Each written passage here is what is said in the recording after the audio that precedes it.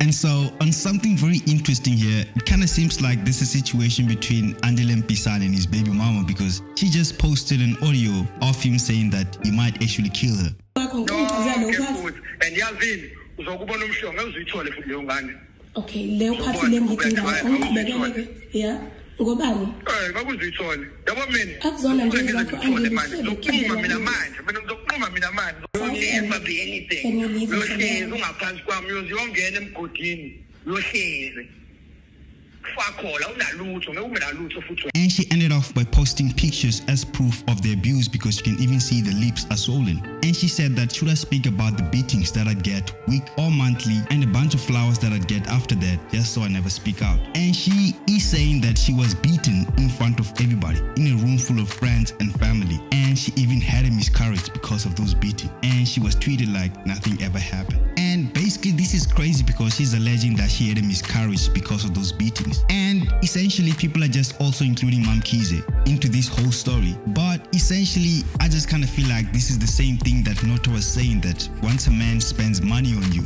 kind of feels like you're an object and he feels entitled to you. So in a way, he might even kill you. A lot of people didn't actually get that and they took that out of context. I saw he was trending for it, but look at it now. It's kind of like Andile Mpisane is kind of almost doing the same thing that Nota said this man do.